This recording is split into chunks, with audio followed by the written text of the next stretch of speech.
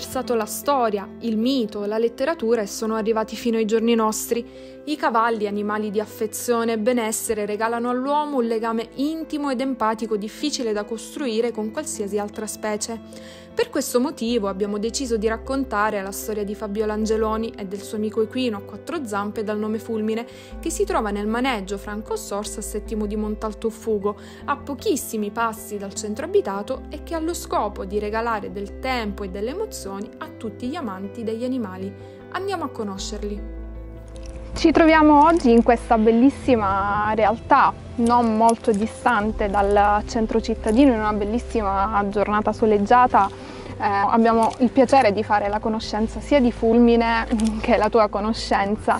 Eh, avresti piacere di raccontarci come ti è nata questa passione, magari la tua storia, immagino che sin da bambina tu comunque coltivavi questa passione. Sì, sì. Allora, io mi chiamo Fabiola, ho 20 anni.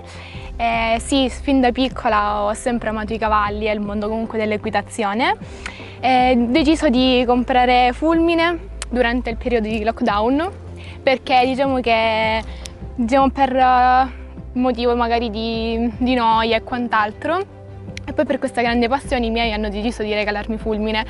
E diciamo Immagino che sia stato un bellissimo regalo, sì. soprattutto in periodo di sì, sì, sì. lockdown. Sì, assolutamente okay. sì. E tra di noi ovviamente c'è un bellissimo rapporto, perché come sapete comunque i cavalli sono degli animali sensibili, ma soprattutto c'è un approccio emotivo grandioso. E, ehm, comunque è una passione che veramente io consiglio di far, cioè di far crescere a tutti, di coltivare questa passione se c'è pure una minima. Um, e comunque è una cosa veramente bella perché i cavalli hanno questa possibilità, cioè hanno questa proprio questa cioè questo, questo potere questo di, potere sì. di prendere emotivamente sì sì diciamo, sì anche sì. perché sin da tempi, da tempi remoti, ecco, i cavalli sono sempre stati molto vicini agli uomini. Sì.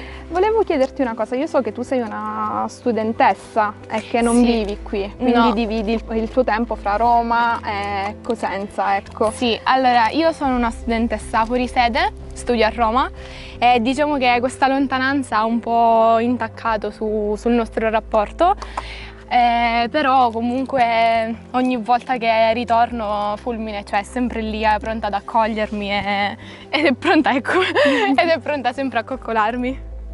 Però comunque la lontananza ovviamente ha il suo impatto. Infatti penso non sia semplice gestire le due cose, ecco.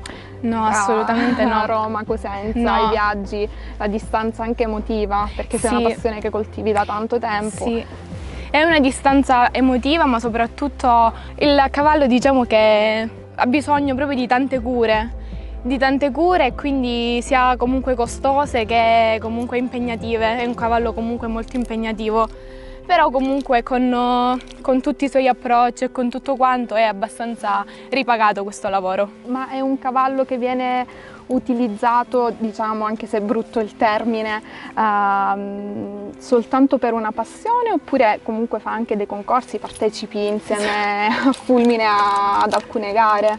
Sì, sì, sì, abbiamo partecipato ad alcune gare Uh, però ovviamente cioè, la passione è comunque quella che vince tutto a prescindere, bene, dai, sì, ecco, a prescindere, dai, risultati comunque della, uh, delle gare e quant'altro. Eh, invece mh, stavamo dicendo prima che dal punto di vista emozionale sono degli animali che riescono a dare tanto all'uomo, sì. quindi si crea proprio un rapporto quasi simbiotico.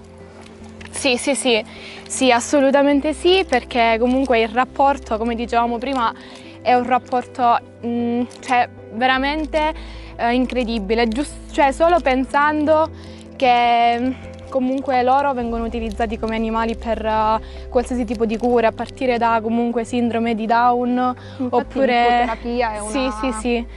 Cioè, cioè il, i cavalli vengono considerati proprio come degli animali veramente per, uh, utilizzati per terapia e quant'altro, quindi sono degli animali veramente fantastici.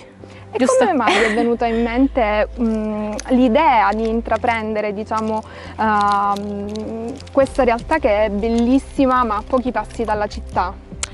Allora, a pochi passi dalla città, diciamo più che altro pure un fattore di comodità e quant'altro, però senza dubbio la natura diciamo che per il cavallo è cioè, la cosa più bella. E poi comunque è sempre un aspetto anche c'è un aspetto anche comunque vedere il verde, vedere comunque, cioè vedere lui che comunque sta libero nel verde, nel, fa passeggiate e quant'altro, e anche per lui stesso comunque uh, un fattore di, di, rilassamento e quant'altro. Cosa ti senti invece di consigliare ecco, alle persone che vorrebbero proprio intraprendere la strada dell'equitazione? Magari ci sono bambini che fanno tantissimi tipi di sport, ma sì. è difficile che si approccino a questo mondo. Allora, io come ho detto prima, consiglio a tutti coloro, tutti quelli che hanno uh, la passione, diciamo, della, del cavallo, di seguirla tranquillamente e di uh, comunque farne veramente